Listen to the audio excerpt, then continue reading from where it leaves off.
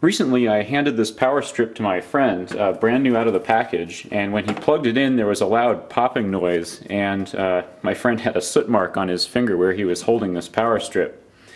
So the unit's obviously defective. Uh, you might want to watch out with this brand here. This is Prime brand. I don't know, it's real cheapo. Bottom of the barrel uh, power strip. So I figured we'd open it up and see what the failure was. The power strip is not a surge protector, it's just a switch. And so as you can see, there's quite a bit of soot up here in the plastic case of the power strip. And uh, I'm going to open up the switch housing and see if the failure was uh, inside the switch or maybe there was just a whisker of, of wire between the hot and the neutral, Well, it doesn't look that way.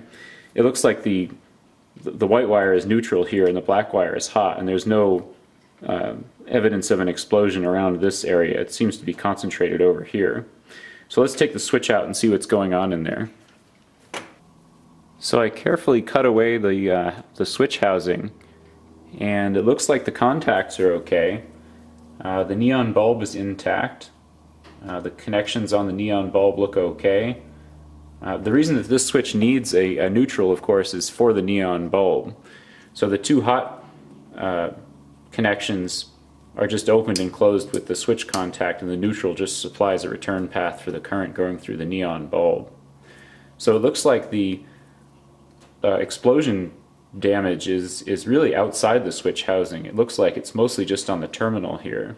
Inside the switch I don't see any soot. Uh, it doesn't look like the, the arcing was, was contained within the switch. There must have been some sort of a problem with their solder joint on the hot wire here. Very unusual. I can't see the path that the current would have taken. There might have been a real, a, a very fine whisker of wire that went all the way from the neutral to the hot terminal on the switch. Anyway, if you guys have seen a failure like this, I'd be interested to hear from you. I'm kind of curious what would cause such a thing. Um, and uh, we'll get together and sue the uh, makers of this, of this strip here. Okay, see you next time. Bye.